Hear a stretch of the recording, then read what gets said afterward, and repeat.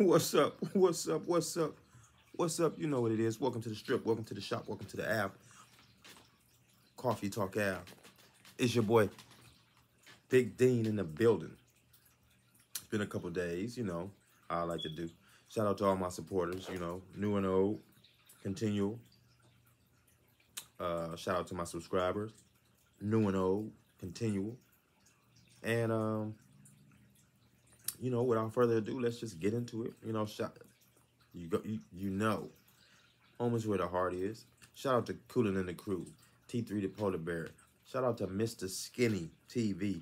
Shout out to Star and the Star Report. Shout out to LLC. Shout out to uh, Dominic Le Blu. Shout out to Supine Kalumut. Shout out to Dream. Shout out to Kalag. Shout out to Mighty Whitey. Uh, give a shout out to um, oh my goodness, what is her name? Uh, was just over there. Um, um, well, you know, they come and they go through my mind. They be slipping. But I do want to get into this topic. But this is a silly one. And I think that I don't want y'all to really get really, really too wrapped up in what I'm about to talk about. And you'll, you'll know why. So how y'all been though? Leave a comment down there. Let me know what's going on. How's the kids going? How how did school, uh, the restart of school go for you guys with uh, with kids? You know, like I said, this is a community. This a this is a, a coffee shop. So you know, come here, leave comments, and engage. This ain't barbershop talk. This is coffee shop talk. So yeah, let's get into this one, man. Look, um, quiet quitting. Um, I don't know if y'all really hip to what that is. Oh, shout out to Magnificent Tyler. I don't know if y'all really uh hip to what that is. So we got quiet quitting. I'm a, I can sum it up real quick. Quiet quitting is simply just employee disengagement. Before you go too far into your thought of what quiet quitting is, it got nothing to do with you losing your job. But everything to do with employee disengagement. What do I mean when I say employee disengagement? I mean, well, then disengagement of the employee's mindset. Duh. So, it's it's the employee not continuing to go above and beyond to do extra things.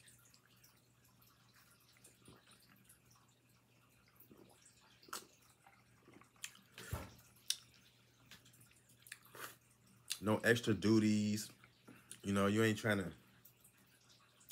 stay over overtime and, and get you some little perks. You ain't trying to come in early.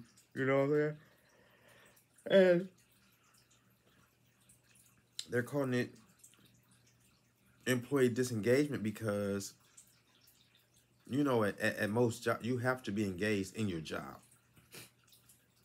regardless what it is. So when you carry this nonchalant attitude as if you're here just to do this small portion of job description and then beyond to the house. Okay now that sound good. And in theory that's how a lot of people like to portray themselves. I see, I hear, I used to hear people say it all the time. Well, I ain't, I didn't come here to be nobody's friend. I came to do my job, my eight, and I'm out. And yeah, well, nah. So, quiet quitting. I'm gonna tell you, quiet quitting is gonna get your ass loudly fired. You hear me? Cause look, see, there's some, there's some shit you just can't avoid when you work a job when you work for somebody else, there's some things you just can't avoid. So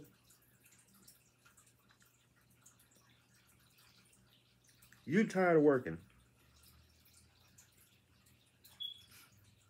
Or you're tired of the conditions of work. So you want to quiet quit. Which is you continuing to come to work. But in low vibration. so you're going to continue to come to work. You're not going to take out the trash that you always take out. You're just going to take out two bags. You No, you usually clean out the lunch cafeteria when all the employees is done. You ain't doing that no more. You ain't sanitizing. You're just going to brush the shit on the floor. You know what I'm saying? Sweep it over into a pile. You, you know, you usually clean the bathroom on the way out. You know, just stuff that uh, employee morale changing things. Now, I get it. Because what you're saying is when you do this and you send that message that I'm not against working for you. I just don't like the conditions that you got me working for you in. I can understand that to a certain degree, but here's here's the problem. People are quiet quitting with car notes. People are quiet quitting with with with kids at home. People are quiet quitting with doctor bills and and shit like that's important as due. So we can't promote the thought process of quiet quitting as much as I would promote the process of standing on your own and challenging what's going on or bringing up what's going on and then knowing and being strong enough to just quit. See, I didn't I never quiet quit it. I quit.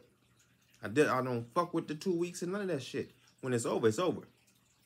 See, I could feel like this in the middle of a day. I've done this. I've quit a job in the middle of a gigantic dinner rush in a restaurant job.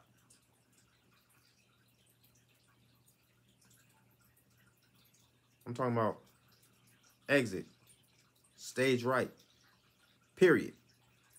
I ain't got to tell you nothing. It's over with. So some people, oh man, that's not good work ethic. And see, that's all y'all who caught up in the American dream thinking that your last job is really going to weigh in on your new job. Stop the madness.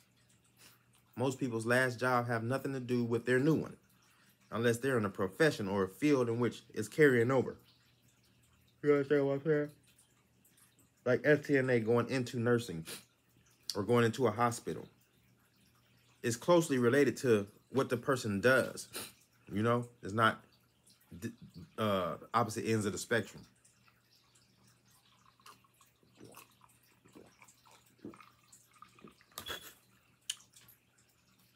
So you got these people that's quiet quitting because they feel overworked. COVID hit. So you got stiff working conditions and and and just it's grueling for the people. And like I say, I definitely understand the feelings of the people when you're put in a position like that. But what I'm telling the people is that's why it's mandatory that you educate yourself here on cyberspace. You educate yourself in this computer land because this computer land is here to stay whether you agree with it, like it, are able to navigate it or not. It's here. It's not going anywhere. See, when you quiet quit, you put yourself also in the way of others. You know, because every job got the haters that's trying to climb. So the hater have noticed you quiet quitting and it's dropping a dime on you. Now you find yourself loudly unemployed. But you got kids to feed. Or, sir, you got a car to keep up because you got to get the, the wife and the kids back and forth to work or school. And even if you have separate cars, you have to still tend to your daily duties to get your bread in. So we not, a lot of us is not in the spaces to really practice quiet quitting. And then a lot of us is not educated enough to know how to quiet quit properly and make it effective. See, you can stop your duties or slow down or don't overwork yourself But I've never done that anyway. When I get hired, I already understand that you're hiring me specifically for what it say right here. That's my argument all the time.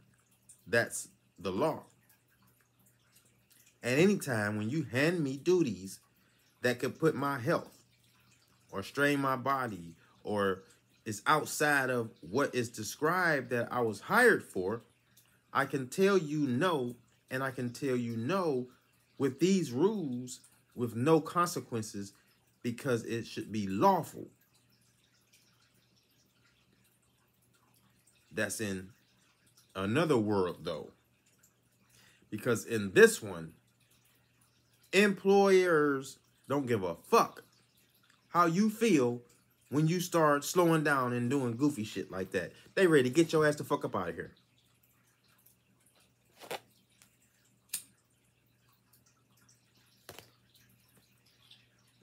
So quiet quitting, to me, it's really just bullshit.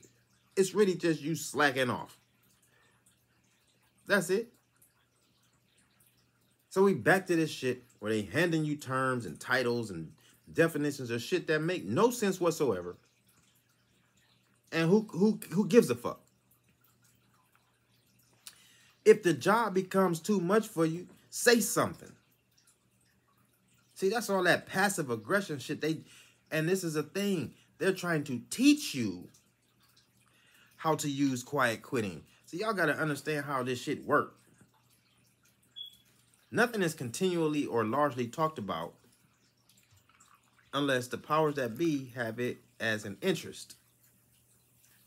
The information. So mind you, if you're starting to hear a lot about this and it's popping out, and you think it's becoming a fad, but it's not uh, becoming a fad. It's always been here. People has always done this. People that have worked jobs have always quietly quit. It's always been somebody on the job. We just never called it that. You just a fucking slacker or you laying off. So here we have that quiet quitting thing, and somewhere down the line, this is my theory it's going to gain some type of political traction or some power behind it to where it might become something that can actually be um, practiced and hold no consequences. But that can only happen if we stand behind that. If we all believe that this is what it is, is we can make anything what it is because that's what they do with the laws. What do you think they come up with? Laws aren't bright ideas. Laws is shit that a couple of the guys are sitting around or women or whoever, and they sitting around and saying, hold on, if this go and, and that go and this go, but but in the end, it also has to you have to over enter and understand that what they're doing only is being done because it's profitable for them. In a capitalistic society, the powers that be only move in accordance to capital. So get your own business. Start your own business. See, we dealing with a generation now that's the end of ours, it's on the cusp. And then it's the beginning of this new type of situation where a lot of entrepreneurship is taken off and it's, it's able to be done and, and successfully laid out because of this internet. So that's why I tell people it's vital that you get you a lane in here. You don't have to be a YouTuber. You don't have to be a TikToker the computer is wide open. There's a multitude of things that you could do to get profit. I'm just saying, if you find yourself in a position to feel like it's necessary for you to quiet quit, then you might as well just quit. Because if it was unhealthy Monday and you didn't feel right Monday and Tuesday, then a month later, when you find yourself wanting to quiet quit, it was because the situation was never addressed to where it can come to some resolution or or or or, or to see what's going on. Quiet quitting is coming from a weakness point. And so many times I try to tell us, we just don't want to be accountable. And we we grab these titles and these names and shit and take off with that shit like, you know, instead of just saying, man, for real, for real, this job ain't for me. You're settling. So see, a lot of people settle because the income is good for their situation. So they get the job and ooh, it's, it's, it's going good for their situation. Next thing you know, they locked in. They've been there two or three years and they really tired of it. It's really something they, they didn't plan on doing for a long um, duration, but they're they're they're trapped now because they've left that income that they thought was a better or a higher income. They let it trap them into a lifestyle, a status point. See, when you free think and you live free and you work for you and you operate your own time framing, you don't have a lot of these different feelings and, and emotions and, and setbacks and mental collapse that the average person is having because you're not uh, per se plugged into that particular program. Don't quiet quit. When it's over, it's over. Just quit. Like, comment, share, subscribe, all bell notifications. Jump down in that description. Join the Discord. You know what it is. Big Dane over here at the coffee shop. Thank you for stopping by.